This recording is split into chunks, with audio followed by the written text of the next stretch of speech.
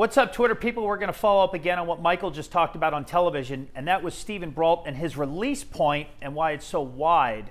Why is it so advantageous for Steven? You know, first you have to go back and think about what he did in 2020 that he's done much better than he has in 2019, 2018. It was the consistency. The athletic ability started to creep in, the confidence came, then the conviction.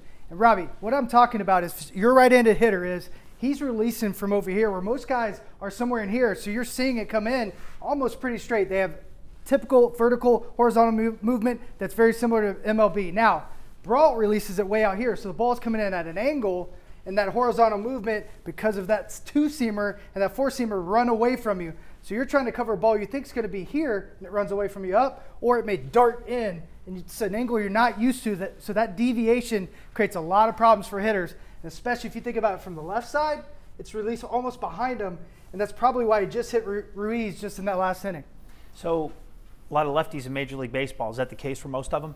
Yeah, no, not by any means. I mean, you're talking about Chris Sale. You're talking about guys that have that quarter release point, and when Brault gets it all going together, it's timed well, and he's able to get it out front. It's game set match. It's almost unhittable. If you look back to his last year's numbers, below 200, really no hard hit balls, no home runs. Knock on wood. You hope it happens again. Michael McKenry, our resident expert.